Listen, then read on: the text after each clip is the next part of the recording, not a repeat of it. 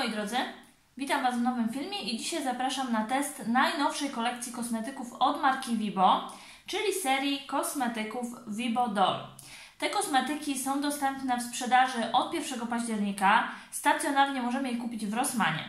Jeśli chodzi o te produkty, powiem Wam, że jak zaczęły wychodzić zapowiedzi tej całej kolekcji, to nie byłam do końca nimi zainteresowana. I jak zaczęła obowiązywać promocja mega na makijaż w Rossmanie i robiłam zamówienie online, to też nie skusiły mnie te produkty. Jedyną rzecz, którą zamówiłam z tej kolekcji to puszek do pudru, bo on kosztował około 4 zł, także stwierdziłam, że czemu nie. No pozostałych produktów nie zamówiłam. Ale kilka dni później pojechałam do Rossmana na takie większe, stricte chemiczne zakupy i jak zobaczyłam te kosmetyki na żywo w szafie Vibo, to całkiem inny pogląd miałam na te produkty. Wyglądały inaczej. To nie była taka tandetna kolekcja, tylko naprawdę coś było w tym takiego fajnego, interesującego. I pisałyście mi też w komentarzach pod filmem z Holem z promocji Rossmann, że bardzo fajnym produktem, którym warto się zainteresować jest puder Vibo Doll Skin. On był na promocji za niecałe 14 zł. Także od razu będąc na tych zakupach w Rossmanie wzięłam i wrzuciłam sobie go do koszyka. Drugi produkt, który mnie zainteresował z tej serii, to jest baza Vibodol rozświetlająca z ekstraktem zielonej herbaty. Dlatego, że ja po prostu lubię ten krok makijażu, lubię bazy pod makijaż. Ona nie była w promocji, ale kosztowała około 23 zł, także doszłam do wniosku, że się skuszę. No i jak wzięłam te dwa produkty, to pomyślałam sobie, że może jeszcze na coś bym się zdecydowała i po prostu nagram dla Was test tych kosmetyków. I wzięłam sobie jeszcze dwa produkty, które były na promocji eyeliner złoty, Doll Glitter Eyeliner. Była też wersja różowa, no ale ja stwierdziłam, że złoty będzie bardziej uniwersalny. Skusiłam się też na pomadkę Doll Lips w kolorze 1 Rosy. Powiem Wam, że jak zobaczyłam tester, to naprawdę bardzo mi się spodobała ta pomadka. Nie wiem, czy kamera to odda, ale ona ma taką welurową teksturę i na tym jest dużo drobinek brokatu, ale to jest taki mini, mini brokacik więc na pewno nam nie będzie przeszkadzał w aplikacji. No wiadomo, że tutaj ta ładna otoczka nam zejdzie, jak będziemy tej pomadki używać, ale ogólnie wygląd jest przepiękny. I jeśli chodzi o zdjęcia na stronie Rossmana, to to nie wyglądało tak ładnie, a na żywo naprawdę mnie to zachwyciło. Także wzięłam sobie numerek 1, dostępne były trzy kolory, ale jedynka była najbardziej neutralna. I jeszcze jeden produkt, na który się zdecydowałam, on niestety nie był w promocji. Nie wiem, czy mówiłam, eyeliner kosztował około 6 zł, pomadka około 14. Skusiłam się jeszcze na paletkę do konturowania. Mamy tutaj rozświetlacz i róż. Ona kosztowała w cenie regularnej ponad 30 zł, więc nie mało. I muszę Wam przyznać, że jak wyjęłam z kartonika to opakowanie, ten produkt, to myślałam, że będzie to lepiej wykonane. To jest taki no, słabej jakości plastik. Lusterko jest całkiem w porządku. Mamy tutaj takie dosyć spore lusterko. No, gramatura tego produktu też jest ok, bo tutaj mamy aż 12 gramów. Jest to produkt wypiekany. Bardzo lubię takie produkty i głównie dlatego się na niego zdecydowałam, bo właśnie jest on wypiekany. Możemy się troszeczkę przestraszyć koloru, e, w szczególności tego różu, bo wygląda na mocno cukierkowy. No, ale zobaczymy. Mam nadzieję, że nie będzie tak intensywny. Rozświetlacz na pierwszy rzut oka mi się podoba, bo to jest taki szampański, wpadający w złoto odcień. Więc no nie jest to mało, ponad trzy dyszki jak za taką kasetkę dwóch, produktów od Vibo, ale stwierdziłam, ok, jak już mamy testować tą serię, to chcę też przetestować to duo. Co do dwóch produktów, na które się nie zdecydowałam, paleta cieni. To po prostu nie były moje kolory. Dodatkowo cała grafika tej palety, no taka cukierkowa, lalkowa, nie bardzo to, wiecie, szło w moje gusta. I rzęsy. Jeśli chodzi o rzęsy, no nie chciałam ryzykować, bo kosztowały prawie 20 zł, były to rzęsy bez kleju. Kiedyś kupiłam kępki od Lovely, skusiłam się za chyba około 10 zł i były naprawdę bardzo złej jakości a rzęsy Ardell z klejem gdzieś tam w internecie możemy złapać za 15 zł. Że doszłam do wniosku, że nie chcę dwóch dyszek płacić e, w ciemno za rzęsy z Vibo. Więc te dwa kroki pomijamy i przechodzimy sobie do testu. Zaczniemy od bazy i przeczytam Wam, co mamy tutaj napisane. Baza rozświetlająca o delikatnej kremowej konsystencji, stosowana pod podkład, daje efekt zdrowej i świeżo wyglądającej cery. Bogata w składniki odżywcze, m.in. ekstrakt z zielonej herbaty, hydromanil. Chyba powinno być napisane hydromalin. Dobra, mniejsza, lecimy dalej. Oraz witaminy A, C i E. Skóra pozostaje nawilżona i odżywiona, a drobne zmarszczki i niedoskonałości optycznie zniwelowane. Baza znacznie przedłuża trwałość makijażu, nie zmieniając przy tym koloru podkładu. Idealna do każdego typu cery. 15 ml, więc tutaj wiecie, no niby ta baza kosztuje normalnie 23 zł. Nie jest to dużo jak za bazę, no ale mamy tutaj połowę pojemności klasycznej bazy. Więc no, troszeczkę można się oszukać. Wyjmujemy z kartonika i opakowanie wygląda tak, więc jest całkiem w porządku. Nie wygląda jakoś bardzo tandetnie, ale najbardziej interesuje mnie sama baza. Mam nadzieję, że to nie będzie taka typowa, mocna, klasyczna perła, tylko to będzie raczej baza dająca mm, takie naturalne rozświetlenie. Ok, coś takiego. Więc fajnie, bo to nie wygląda jak taka perłowa tafla, raczej właśnie jak naturalny blask skóry. Więc może to być fajny produkt. Ona się nie lepi, jest leciutka.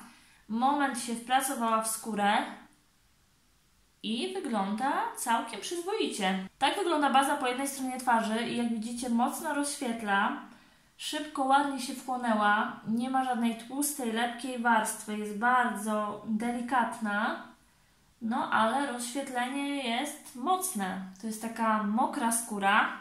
No zobaczymy. Jeśli chodzi o podkład, który będę nakładać, e, to na dzisiaj mam Soraya Plantę w kolorze 02 Nude, a korektor to Eveline 01A e, Light Beige. Także nałożę sobie bazę na drugą stronę, zaaplikuję podkład i korektor a potem przejdziemy sobie do przypudrowania wszystkiego i jeśli chodzi o ten puder Dolskin, to myślę, że spróbuję go też nałożyć pod oczy. Zobaczymy jak on będzie wyglądał.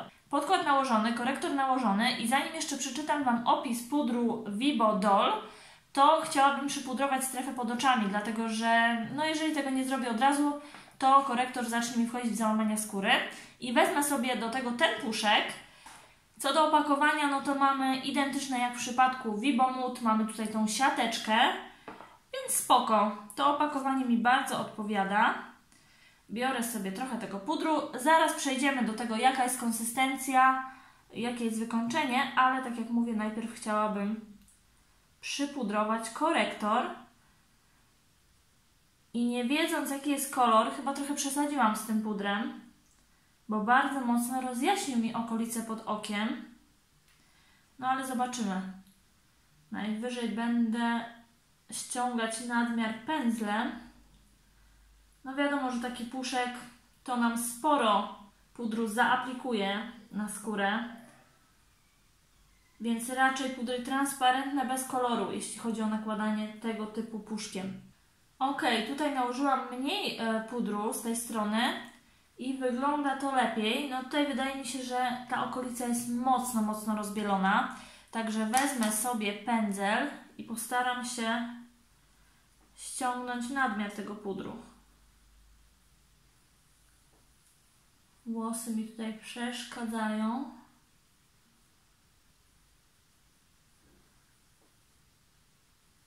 Jak to wygląda w kamerze? No dosyć biało. Na żywo jeszcze jak Cię mogę. Ale widzę, że w kamerze troszkę mi rozbielił tą skórę. Co do opisu, transparentny sypki puder utrwalający z kolagenem morskim, czyli opis bardzo podobny jak w przypadku pudru Vibomut. Doskonale kamufluje niedoskonałości cery, delikatnie odbija światło, perfekcyjnie sprawdzi się przy konturowaniu twarzy, pozostawia efekt świetlistej skóry. 14 gramów, tak jak mówiłam, opakowanie z sitkiem, tutaj mamy takie zabezpieczenie i tutaj sobie otwieramy produkt. I weźcie pod uwagę, że puder nie jest do końca transparentny, on jest troszkę taki kremowy, więc będzie dawał delikatne krycie, delikatny kolor. Jeśli chodzi o samą formułę, jest bardzo, bardzo miałki, ale wydaje się być troszeczkę mokry.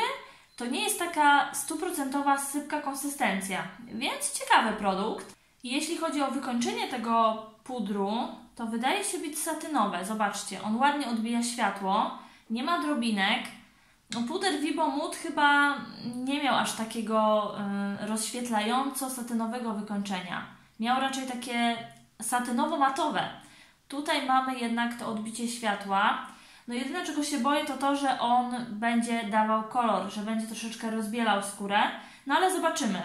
Jak na razie pod oczami, e, kiedy zdjęłam nadmiar pudru pędzlem, wygląda to dobrze, także przejdziemy sobie do przypudrowania całej twarzy. Powiem Wam, że to opakowanie mi się podoba. Naprawdę to sitko jest dobrze przemyślane w tym pudrze. Mm, co do samego pudru, no wygląda bardzo ładnie. Pięknie wygładza skórę. Naprawdę. Powiem Wam, że ta baza, ona nie jest wygładzająca, nie zmniejszy Wam widoczności porów, więc dała rozświetlenie. To rozświetlenie przebijało pod podkładem i bałam się, że właśnie tutaj ta okolica, gdzie mam rozszerzone pory, no będzie to widoczne, ale muszę przyznać, że ten puder wyblurował mi to. Także super. I czy jakoś mocno rozbielił? No, myślę, że pod oczami delikatnie może być to widać, ale na całej twarzy, kiedy używam minimalnej ilości, to nie ma jakiegoś rozbielenia, rozjaśnienia skóry. A na pewno wygląda ona bardzo, bardzo dobrze. Podoba mi się ten puder. Ja lubię ten puder Vibo Mood, ale powiem Wam, że ten chyba jeszcze bardziej mi się podoba.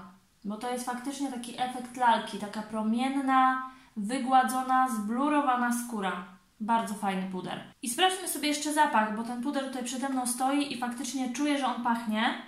I on pachnie wanilią, ale taką no troszeczkę chemiczną, więc to nie jest najprzyjemniejszy zapach na świecie.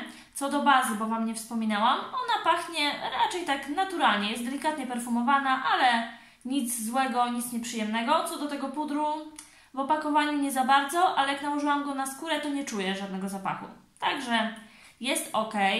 Przejdźmy sobie do eyelinera, do Glitter Eyeliner w kolorze po prostu jeden. Numerek jeden. Najpierw swatch. Sama jestem ciekawa, jak to będzie wyglądało. Jest on złoty i ma czerwone drobinki. Może nałożę więcej. Ja nie będę nim robić kreski, bo ja takimi e, eyelinerami błyszczącymi kresek nie robię. Moja lista eyelinerów e, kończy się na dwóch, czarny i brązowy.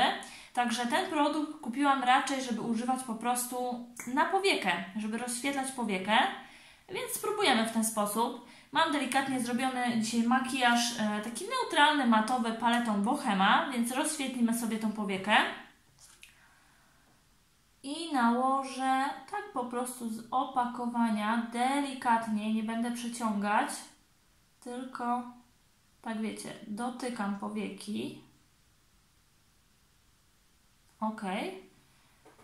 I troszeczkę spróbuję wklepać palcem.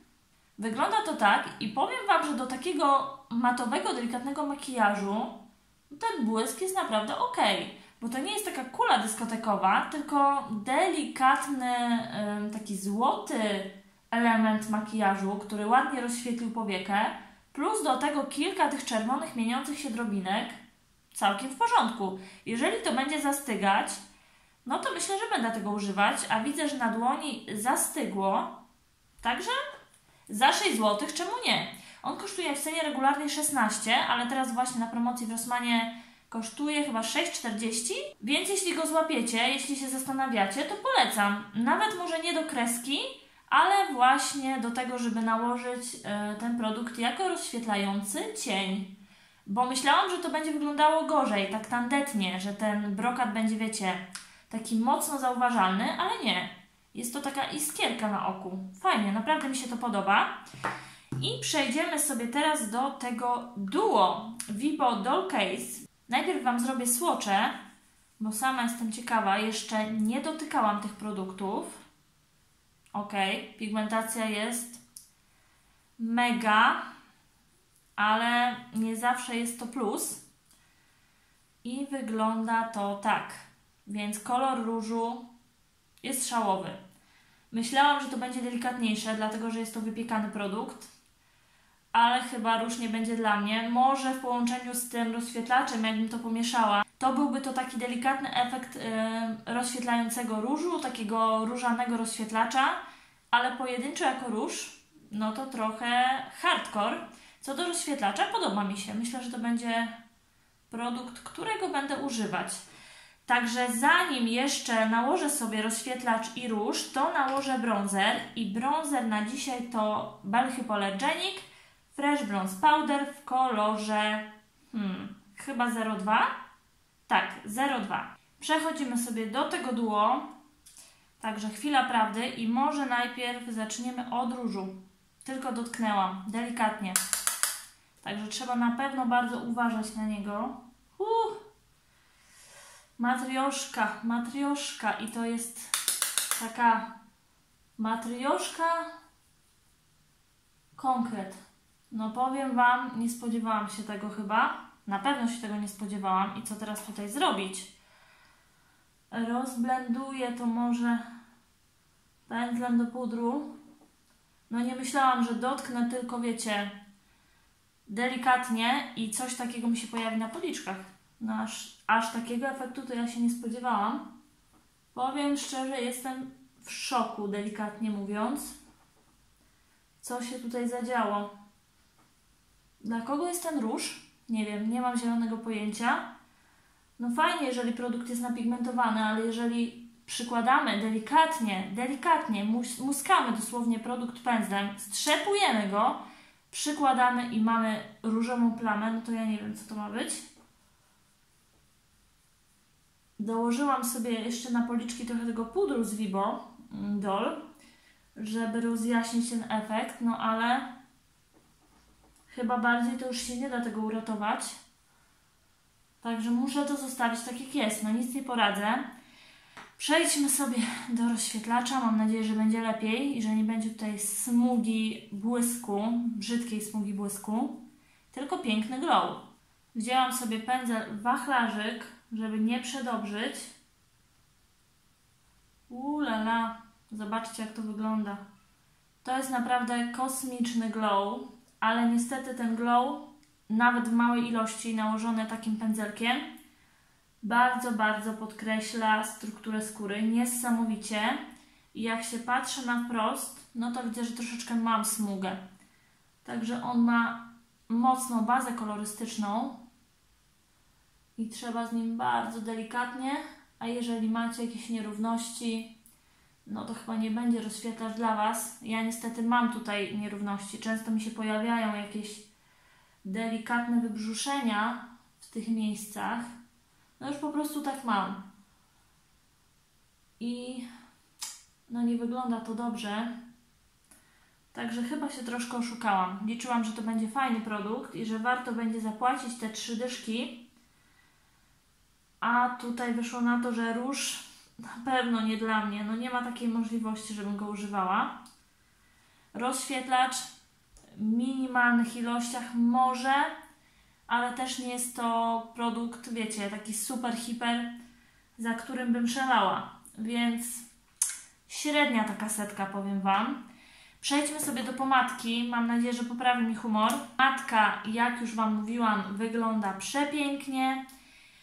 I muszę zrobić słocza, niestety, bo mogłaby ona sobie po prostu stać na mojej toaletce. Naprawdę jest przepiękna, ale chodzi tutaj o kolor, nie o efekt, który nam robi pomadka. No zobaczcie, kolor jest naprawdę ładny. To jest e, taka masełkowa, kremowa konsystencja i wydawać by się, by się mogło, że ona będzie miała drobinki, ale ona faktycznie ma tylko drobinki naokoło. Tutaj to jest taki kremowy produkt bez żadnych zbędnych drobinek. Także zobaczmy, jak to będzie wyglądało na ustach. Hmm, bardzo neutralny. Neutralny, nudziakowy kolorek. Delikatnie wpada w róż. Także nazwa Rosie, no myślę, że pasuje do tej pomadki. Bardzo, bardzo kremowa. Nie wiem nawet, czy nie za bardzo. Czy nie będzie się rozlewała. Kolor jest spoko. Ostatnio wybieram raczej beżowe, neutralne pomadki, więc przyda mi się taki neutralno-beżowo-różany nudziak. Spoko. Naprawdę spoko. Pomadka jest ok. Ładnie pokryła, pigment jest w porządku. Także jak najbardziej na plus. Także test kolekcji Vibodol uważam oficjalnie za zakończony i przejdźmy sobie do podsumowania. Zaczynając od tej bazy, No tutaj boli mnie trochę ta pojemność 15 ml. Myślę, że no powinna być po prostu 30. No bo jakbym chciała kupić sobie 30 ml, to musiałabym zapłacić prawie 5 dyszek za tą bazę, a tyle ona chyba nie jest warta. No jest fajna, ładnie rozświetla, ale ona tylko rozświetla, daje tylko taki naturalny y, glow od środka. Nie ma drobinek, nie ma perły. No ale nie robi nic poza rozświetleniem, więc nie wiem, czy to jest to, czego oczekiwałam. Co do pudru, bardzo pozytywne zaskoczenie. Ja wrzucę Wam ten filmik w czwartek, a promocja w Rossmanie jest do soboty chyba. Także jeżeli go złapiecie, to naprawdę warto, bo będzie kosztował, kosztuje około 14 zł. I mamy tutaj 14 gramów pojemności, także no ta pojemność jest całkiem w porządku. Ładny efekt, piękne wygładzenie. Delikatnie może wybielać skórę, więc musimy bardzo, bardzo spokojnie, nie za dużą ilość tego pudru nakładać. I powiem Wam, że pod oczami też wygląda spoko. Także moim zdaniem warto, naprawdę warto się zainteresować tym produktem. Co do tego puszku, za 4 zł tak, za 11 chyba nie. No bo to jest taki klasyczny, zwykły puszek, tylko w kształcie, który pomaga nam nałożyć baking pod oczy. Więc nic odkrywczego, no ale za czwórkę jak złapiecie to też spoko. Eyeliner bardzo pozytywnie mnie zaskoczył. Myślałam, że to będzie taka brokatowa tandeta, a okazało się, że wygląda ładnie na powiekach, ładnie nadał takiego, wiecie, mm, blasku, takiego rozświetlenia powiece e, makijażowi matowemu. Taka iskierka mi powstała na powiece, więc podoba mi się to. On też ładnie zastygł, nie wszedł jakoś e, w załamania na powiekach. Także myślę, że jeśli chodzi o makijaż oka i o rozświetlanie oka tym produktem, to tak. Co do eyelinera, no to jak lubicie. Ja nie robię kresek rozświetlającymi eyelinerami. Tak jak mówiłam, dla mnie tylko dwa kolory brąz i czerń. Ale jeśli chodzi ogólnie o produkt, to myślę, że jest naprawdę fajny. Co do tej kasetki Doll Case, czyli róż i rozświetlacz, to niestety on mnie bardzo zawiódł, ten produkt, bo no nie wiem, kto wymyślił taki kolor różu, taką intensywność różu. Dla nas Polek, no bo jeszcze ciemniejsza karnacja mogłaby to jakoś delikatnie ograć, ale dla naszych karnacji no to jest zbyt intensywny, zbyt różowy odcień i zbyt mocny pigment przede wszystkim. Rozświetlacz niestety podkreśla fakturę skóry, co nie jest do końca fajne. Druga sprawa, no ma mocno bazę kolorystyczną, więc zostawia trochę smugę koloru. Trzeba z nim delikatnie pracować, trzeba minimalną ilość nakładać, wtedy może będzie wyglądał ok, no ale nie jest taki szał. A jak mówiłam, kasetka kosztuje ponad 30 zł. W tej cenie możemy sobie kupić na przykład z Lovely czy z Eveline fajny róż i fajny rozświetlacz. Także myślę, że najgorsze, najsłabsze ogniwo z tej całej kolekcji. I ostatni produkt to jest pomadka w kolorze Rosy. Bardzo ładny kolor, bardzo fajna formuła, konsystencja. Jeśli chodzi o utrzymywanie, to nie liczyłabym na wiele, no bo ta pomadka podejrzewam, się zje po dwóch, po trzech godzinach ale można ją bez problemu dołożyć, nie potrzebujemy konturówki, no bo to jest kremowa, fajna konsystencja, wiecie. Nawet jakby się uparł, to bez lusterka by ładnie tą pomadkę zaaplikował. Więc myślę, że jeżeli chcecie fajny taki nudziak z delikatnym różowym, różanym podtonem, to polecam. Są jeszcze dwa inne kolorki, więc warto się zainteresować tymi pomadkami. Jeżeli filmik Wam się spodobał, zostawcie mi kciuka do góry, będzie mi bardzo miło. I dajcie mi koniecznie znać, czy testowaliście tą serię kosmetyków Vibo Doll i jak Wam się te produkty sprawdziły. Jestem bardzo, bardzo ciekawa Waszej opinii. Zachęcam oczywiście do subskrypcji, żeby być ze mną na bieżąco i do zobaczenia już niedługo w kolejnym filmie. Pa, pa!